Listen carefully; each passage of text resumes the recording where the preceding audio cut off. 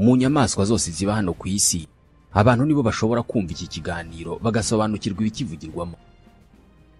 Impamvu ni uko bafite amatwi bakagira n'ubwonko bufite ubushobozi bwo kumva ururimi bakaruhuza n'amashusho y'ibirimo kuvugwa bityo ijambo rivuzwe rikagira igisobanuro.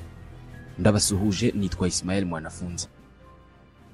Umubiri w'umuntu ni kimwe mu bintu byubakanye ikoranabuhanga ritagirwa n'ibindi bikoresho cyangwa se ibindi bintu byakozwe n'abantu.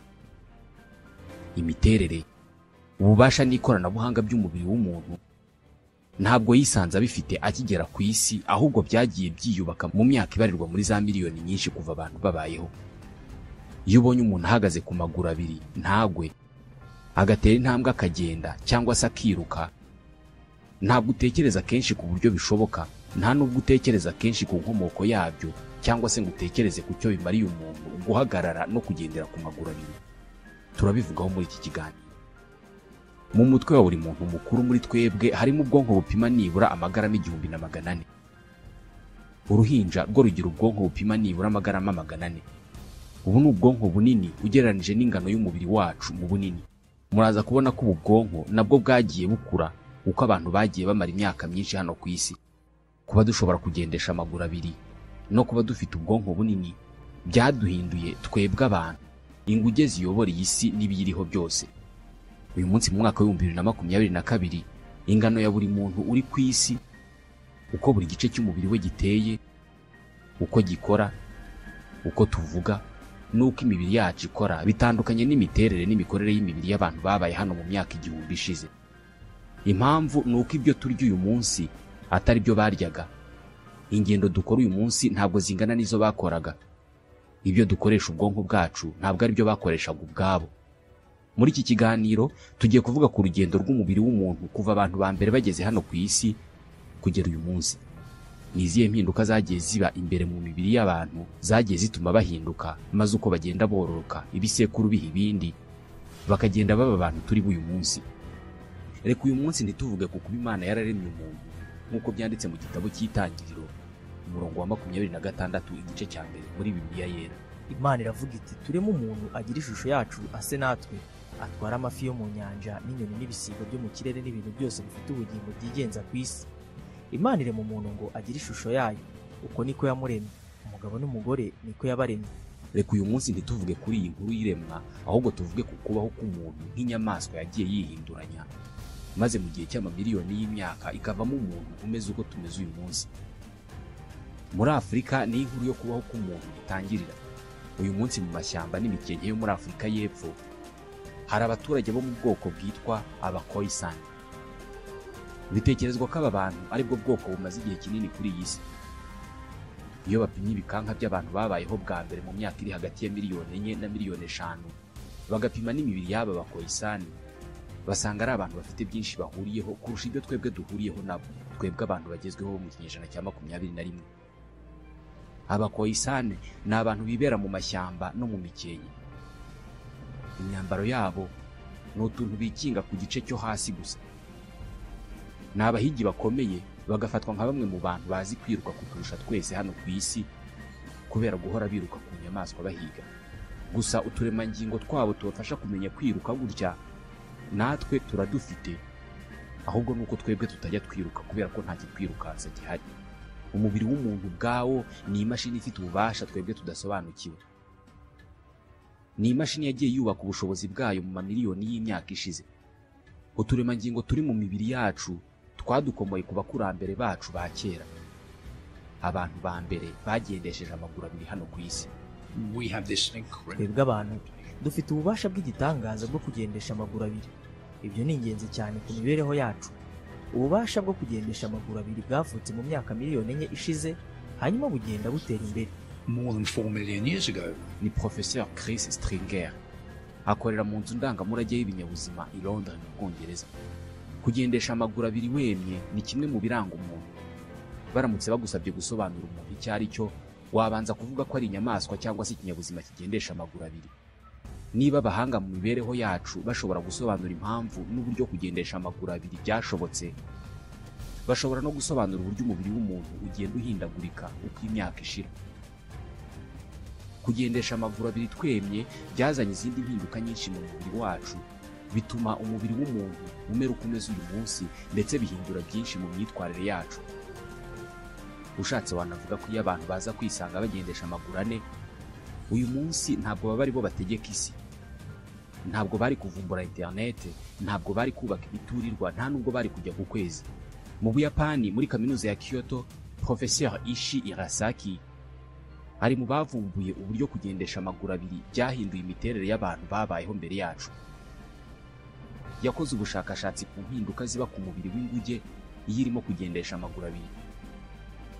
Yafashe inguge kubera ko isanzwe igendesha amaguru ane aba ariyo akoreraho ubwo bushakashatsi kubera ko yemera ko inyamaswa zabaye abantu zahoze zigendera ku maguru ane. Muri ubu bushakashatsi yakoresheje itapi ifite ubushobozi bwo gupima ingufu z'ikirenge kiyikandagiyeho kugira ngo arebe uko bigenda iyo inyamaswa iyigendeshejeho amaguru ane n'iyo iyigendeshejeho amaguru abiri. Kubera ko abantu bagendesha amaguru abiri uburemere bw'umubiri wose w'umuntu iyo ashinze ibirenge buba busa n'ubwicaye ku maguru. Inyama zo ku matako y'umuntu zo zikora akazi ko gufata igihimba kigakomera ntikinyeganyege ari na yo mpamvu uhagarara ukema ntuhungabane. Iyo duhagaze amaguru yacu aba asa n'atwikoreye. Amaguru yacu niyo aba yikoreye umubiri wose uko wakabaye.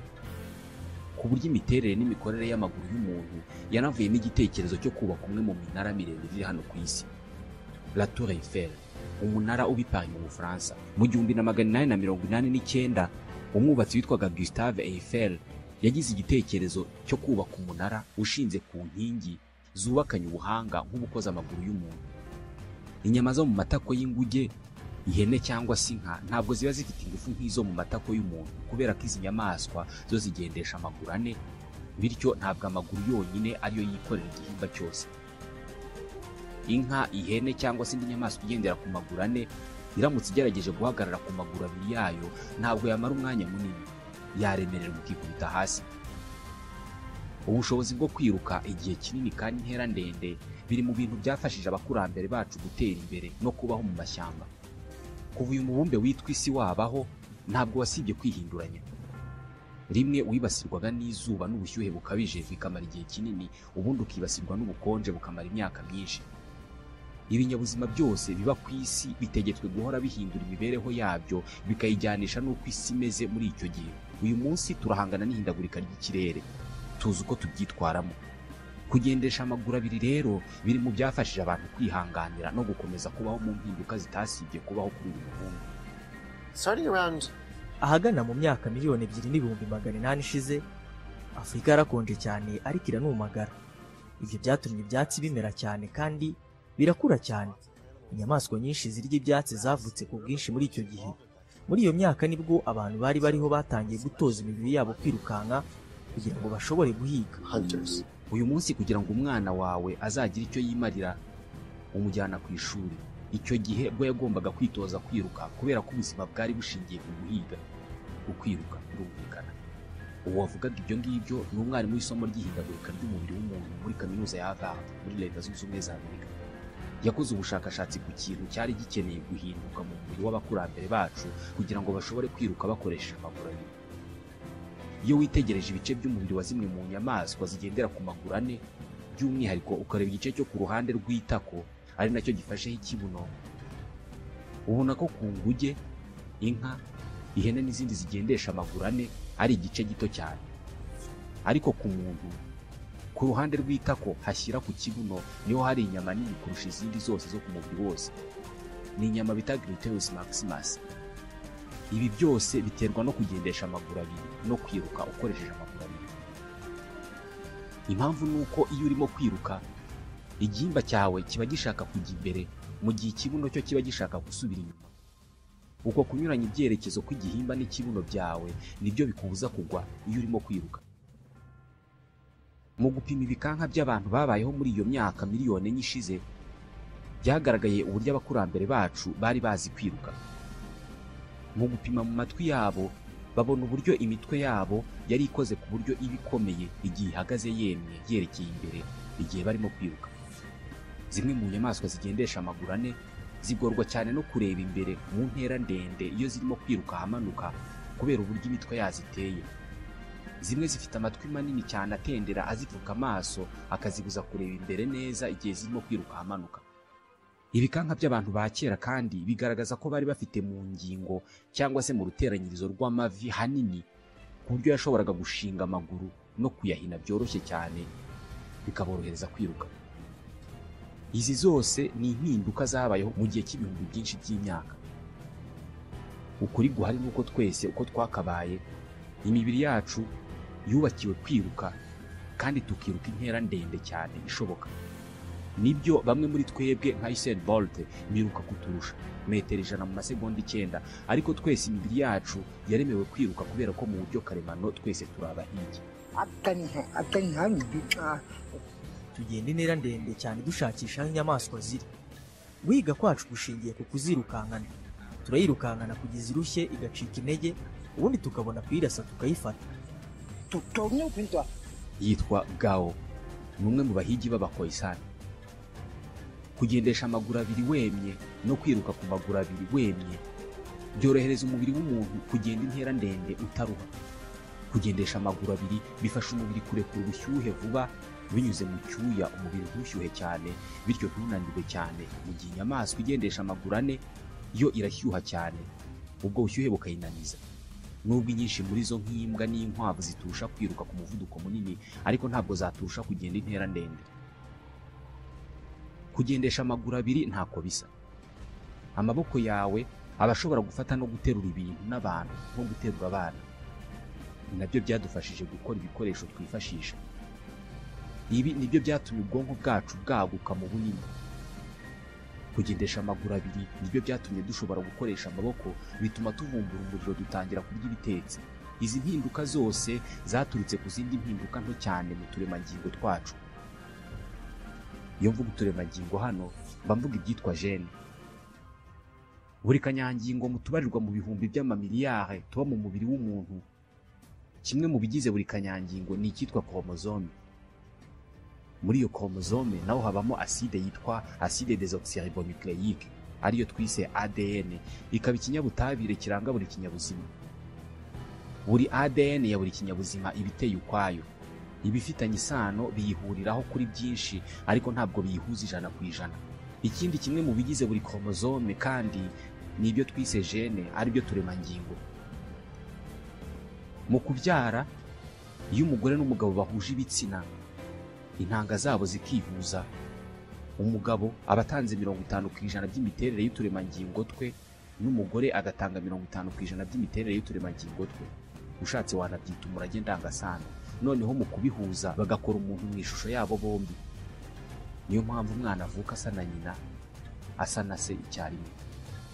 Cyangwa se bitaba no gusa ku isura akagira imyitwarire cyangwa se imiterere runaka akura kuri buri ruhande mu bamubyaye. Uwo murage ndangasano bamuhaye ni we ugena umuntu uwo mwana azaba we. Uburebure azagira ibara ry'imisatsi n'amaso ye ijwi azagira n'ibindi byose bizamuranga. Mu kwirema k'umwana yaba uw'umuntu cyangwa se uw'ikindi kinyabuzima. Mu gihe twa turemangingo twavuye ku babyeyi bombi turimo kwihuza kugira ngo havemo uwo mwana. Hari ubwo habaho amakosa runaka babyita erreur genetique ni amakosa atuma mu kwirema uwo mwana adasa ijana ku ijana na se cyangwa se ngo ase ijana ku ijana na nyina.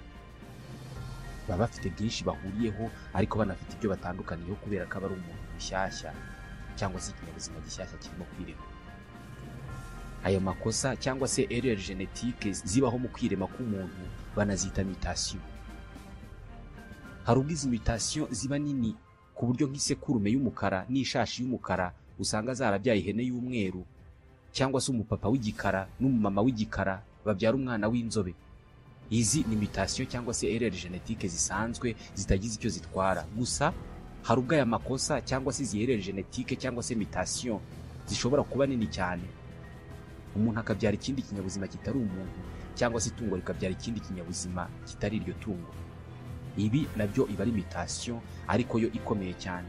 Aya makosa mu myiremere cyangwa se erreur genetique rero bitekerezwa ko zagiye zibaho mu mibereho yacu zikagenda zihindagura imiterere y'imibiri y'abakurambere bacu. Maze uko bagenda bororoka babyara abana n'abuzukuru n'abuzukuruza bagenda bahinduka baba abantu batandukanye kugera ku bantu turi buri munsi. Igitekerezo cy'imihindagurikire y'umubiri w'ibinyabuzima cyatangiye mu kinyejana cya cumi n'icyenda ubwo umwongereza wari umuhanga mu binyabuzima yavumburaga ko ibinyabuzima byiga kuba aho byisanze byaravukiye bikanisanisha naho maze imibiri yabo ikagenda ihinduka kugira ngo ishobore kuba aho hantu. Umubiri w'ikinyabuzima wiga kuba no kwihanganira ibyo usanze aho uvukiye. Wiga kwihanganira ibiribwa biri aho hantu amazi yaho ubukonje cyangwa se ubushyuhe bwaho. Uyu munsi ufashe ibyo kurya bitunga abana bo mu muhanda ukabigaburira umwana wo mu rugo bakarabya bagasiga amavuta bakaririmbira ibihozo bakamuryamisha. Umufasha ukamugaburira ibyo kurya bitunga abana bo mu muhanda ashobora kumara kubirya uhita umujyana mu bitaro kubera ko byamurwaza. Nyamara abana bo mu muhanda babirya buri munsi bishimye ntibarware n'ibicurane imibiri yabo yize gutungwa n'ibyo byo kurya batoragura mu ngarani. Ibi ni byo Charles Darwin yise natural selection. Isi ubwayo izi gukanda ibinyabuzima ibidashoboye kwihanganira uko kubikanda bigapfa ibishoboye kurokoka bikavamo icyororo cy'ibishoboye survival of the fittest. Ushoboye ni we urokoka Charles Darwin yacukumbuye imibereho ya zimwe mu nyamaswa asanga zimwe zibaho igihe kirekire bihagije. Ku buryo zibyara zikagira n'abuzukuru zikavaho icyororo izindi zigapfa hakiri kare. Ugendeye ku gitekerezo cya Darwin umwana upfuye afite imyaka itanu y'amavuko ni inkuru y'incamugongo kuri twebwe ariko ubwo umubiri we uba wananiwe kwihanganira imiterere y'isi. Ubwo uwo ni umunyantege nke mu gihe umusaza cyangwa umukecuru wizihiza yubire y'imyaka ijana uwo ni we wabashije iyi si mu buzima bwe yahuye n'ibyorezo akarwana na byo akabitsinda ahura n'umunaniro akawutsinda yarakomeretse umubiri we uriyubaka ibikomere birakira. Abasha kugira imyaka ijana. Uwo ni we ushoboye kuba ku isi. Ivumburwa ry'uturemangingo ndangasano ADN cyangwa se DNA niryo ryatumye abantu bamenya uburyo bahererekanya ubudahangarwa n'ububasha bw'imibiri yabo. Uko akaba ariko bahererekanya imiterere ituma bamera uko bameze uyu munsi. Ntabwo wigeze wumva abantu bavuga ngo umuryango wo kwa runaka bararamba cyangwa se bararama ngo bageza ku myaka ijana. Niba ari uko bimeze ubwo muri uwo muryango bafite uturemangingo two kurama. Nuramuka ubashatsemo ushobora kuzagira amahirwe yo kubyara umwana nawe urama. Muri iki kinyejana ikoranabuhanga ryavumbuye uburyo uturemangingo ndangasano tw'abantu twubatse. Ibi bivuze ko dufite ubushobozi bwo kumenya ibigize uturemangingo tugize abatuye isi bose. Biroroshye gupima bakamenya ko uturemangingo tugize umubiri wawe tumeze nk'utw'abakurambere bacu bo muri Botswana. Bari abahigi bakomeye cyane. Abo bahigi bo muri Botswana dushobora kuba twaramenye imiterere yabo y'uturemangingo kubera ko twapimye igikanka cy'umwe muri bo twavumbuye. Utu turemangingo dupimwa ni natwo tugaragaza uburyo abakurambere bacu bakwiriye isi tukagaragaza n'uburyo uguhindagurika kw'isi kwasunikiye imibiri yabo kwiyubaka bushya igendeye ku buzima babagamo. Uyu munsi noneho basigaye banapima uturemangingo twacu bagapima n'utw'inguge kugira ngo barebe aho duhuriye na zo. Duhuje na zo imiterere y'uturemangingo ku kigero cya mirongo icyenda n'umunani ku ijana. Niyo mpamvu bavuga ko twebwe na zo turi ababyara. Impinduka cyangwa se ereri genetike zishobora kuba zarabayeho mu nguge zigatuma havuka umuntu. Nizo zaremye imiterere yacu uko tumeze uku nguku. Inguge zikaba zo zimeze kuriya. Kamwe mu turemangingo twabayeho impinduka cyangwa se mitasiyo kakadutandukanya n'inguge ni akubaka uruhu cyangwa se agashingiye ku ruhu Professeur Nina Jablonski ni umushakashatsi mu birebana n'imihindagurikire y'uruhu rw'umuntu. Akorera muri kaminuza ya leta ya Pennsylvania. In order to understand all kugira ngo dushobore gusobanukirwa umubiri w'umuntu uko wakabaye tugomba kubanza gusobanukirwa amateka y'igice cy'umubiri w'umuntu kinini kurusha ibindi ari cyo ruhu. Uruhu rw'umuntu rutandukanye cyane n'uruhu rw'izindi nguge zose. Itandukaniro rinini ni uko uruhu rw'umuntu rwambaye ubusa cyane kandi rukunda kubira ibyuya skin is very sweaty. impinduka zabaye mu nzungano z'icyuya mu ruhu rw'umuntu nizo zatumye umuntu aba umuhigi ukomeye cyane. Kubira icyuya ni byo bituma umuntu agira ububasha bwo kwiruka intera ndende kandi akamara umwanya munini yiruka. Mu gihe izindi nyamaswa zo bizisaba kwiruka zisimbuka. Inyamaswa nyinshi iyo ziruka zigendesha amaguru ane zigenda zisimbuka intera ndende. Ari na yo mpamvu zidusiga kubera ko twebwe tugenda dutera intambwe imwe inyuma y'indi. Twebwe uko twiruka umubiri wacu ugenda usohora ubushyuhe binyuze mu byuya. Umubiri wacu usohora ibyuya hanyuma gukama kw'ibyo byuya bigakura ubushyuhe mu mubiri. Niyo mpamvu dushobora kwiruka intera ndende mu bushyuhe bwinshi mu gihe zo umubiri wazo usohora ubushyuhe binyuze mu kanwa. Niyo mpamvu zisohora indimi zikahagira. Uku kwahagira bituma zihumeka nabi. Ikindi kubera ko ziruka zisimbagurika uko isimbutse ibyo mu nda biricugusa bityo bikayinaniza vuba. Niyo mpamvu nigeze kuvuga ko ziturusha umuvuduko mu kwiruka ariko ntabwo zakwiruka intera nk'iyo twebwe twakwiruka. Zo zakwicwa n'ubushyuhe. Igihe impinduka zabaga mu turemangingo tw'inguge bikavamo abantu baje batandukanye n'inguge cyane cyane ku ruhu. Nta bwoya bari bafite mu gihe inguge zo zifite ubwoya bwinshi. Inguge zifite ubwoya bwinshi buzirinda ubukonje bukanazirinda imirasire y'izuba ryinshi. Twebwe abantu turi inyamaswa zifite uruhu rwambaye ubusa cyane. What we had to do was compensate. icyo imibiri yacu yakoze ni ugusimbuza ubwoya umubiri wacu watakaje. Niyo mpamvu abantu ba mbere babayeho bari ibikara cyane. Bari bafite uruhu rwijimye cyane rurimo ikinyabutabire cyitwa melanine. Gituma uruhu ruba umukara. Kikarurinda imirasire y'izuba ityaye cyane ishobora kurutera kanseri y'uruhu. To skin cancer. uyu munsi mu bice by'isi bishyuha cyane. Umubiri unaniwe gukora iki kinyabutabire cya melanine kirinda imirasire y'izuba. Uwo mubiri uba ushobora kugira ibibazo. Iyi melanine niyo itugira abirabura. Nayo iba mu misatsi yacu igatuma iba umukara. Uruhu rw'abazungu nta melanine rugira niyo mpamvu bera ari na yo mpamvu imisatsi ya benshi muri bo itari umukara nk'iyacu. Iyi melanine ni na yo ituma tugira imboni z'umukara. Hari igihe mu kwirema k'umwana mu nda ya nyina habaho za mpinduka cyangwa se erreur genetique cyangwa se mutation zo mu turemangingo tw'uruhu. Iyo izo mpinduka zibaye mu turemangingo twitwa oculocutaneous albinism cyangwa se oka. Umwana avuka adafite cya kinyabutabire cya melanine gituma uruhu rwirabura. Umwana akavukana uruhu rwera kandi yabyawe n'abirabura. Ni abitwa albinos cyangwa se abafite ubumuga bw'uruhu rwera. Ni ubumuga buvukanwa buba bwaturutse ku mpinduka cyangwa se amakosa mu kwirema k'uturemangingo turema uruhu rw'umuntu. Iyo imibiri yacu itaza kugira ubu bushobozi bwo kwihinduranya ngo ireme uruhu rwirabura ku bantu baba ahantu haba izuba ryinshi. Iri zuba ryo muri afurika ryari kuduhitana. Muribuka umubiri ubwawo wiga kubaho bitewe n'aho uri.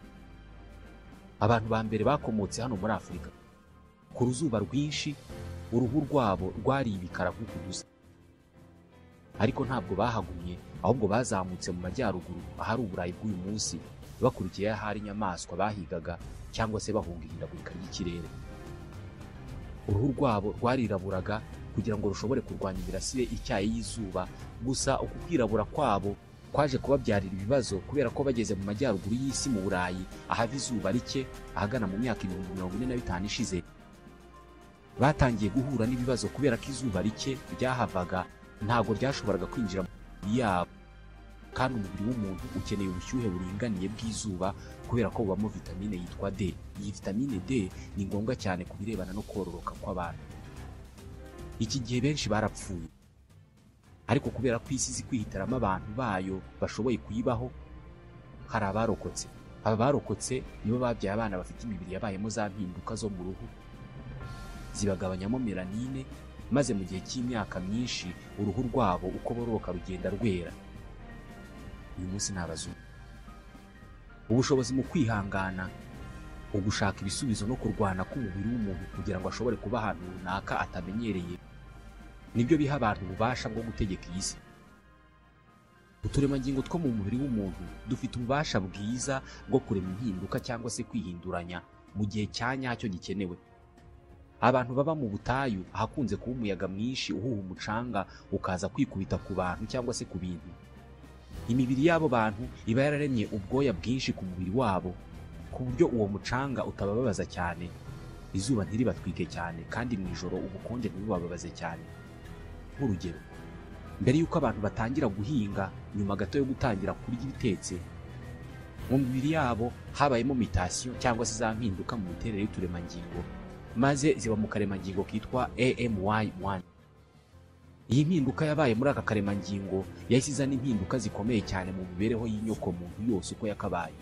Iyi mpinduka nto mu mikorere y'umubiri ishobora guhindura icyerekezo cyose cy'inyokomuntu. Nk'ubu haramutse habayeho impinduka nto mu byumviro by'uburyohe. Ikaba nk'impinduka ituma twumva ibisheke birura. Isukari yahita iva mu biribwa byacu. Mu myaka ya kera mbere y'ivumburwa ry'ubuhinzi ibi ni byo byabaye mu karemangingo kitwa AMY1 aka karemangingo niko kagenzura umusemburo witwa salivary amylase uba mu macandwe. Uyu niwo utuma igogora ritangirira mu kanwa iyo turimo kurya. Iyo ugishyira ibyo kurya mu kanwa utangiye kubitapfuna amacandwe arimo uyu musemburo yivanga na bya biryo agatangira kubicagagura ku buryo amenyo ataruha cyane ukabimira bisa n'ibyatangiye kugogorwa. Bitekerezwa ko uyu musemburo ucagagura ibi biryo wabayeho mu myaka miliyoni ishize. Izi mpinduka zabayeho nyuma gato yo kuvumbura umuriro abantu batangiye kurya ibitetse.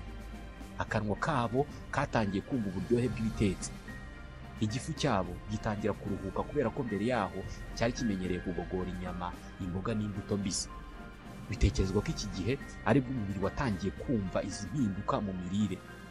Nawo uhita utangira gukora iyi aside yo mu macandwe none dore ubigogora risigaye ritangira umuntu ataranamira ibyo kurya.